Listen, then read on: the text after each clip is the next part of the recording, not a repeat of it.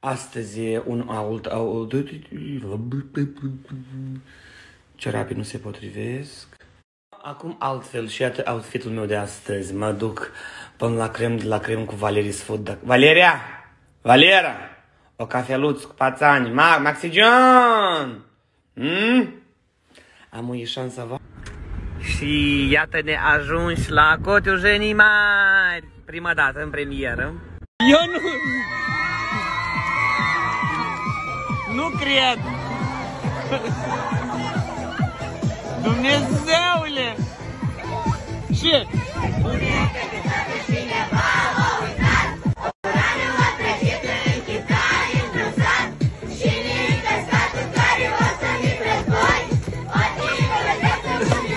Bună ziua!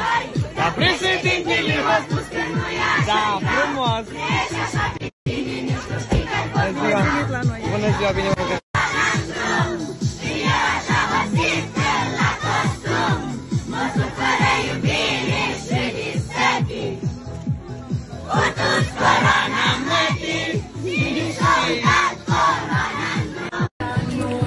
dragilor, ce pot să vă zic? Sunt mulțumesc tare mult, sunt foarte fericit pentru așa o primire aici la Cotiujenii Mari.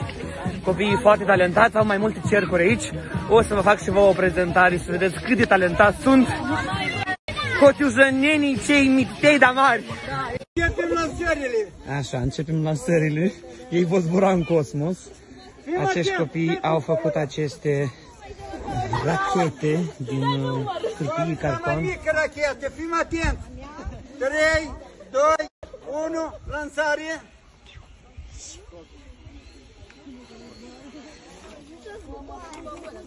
Adică, O să zboare, trebuie.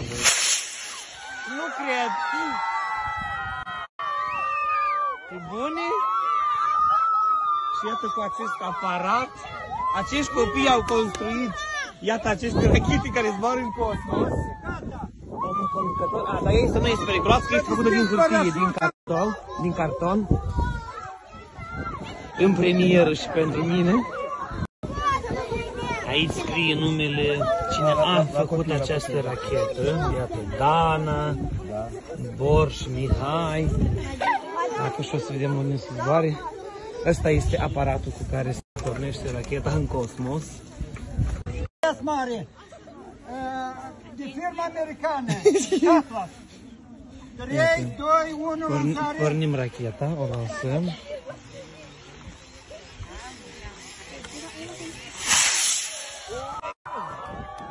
O, da sus!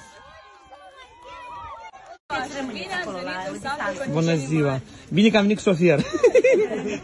Vă rugăm să gustați din vinurile noastre. Mulțumim! Mândri să vă avem astăzi ca oaspeți Mersi la onoare mult. și vrem să vă servim cu pâinea Mulțumesc! noastră. Uh, mă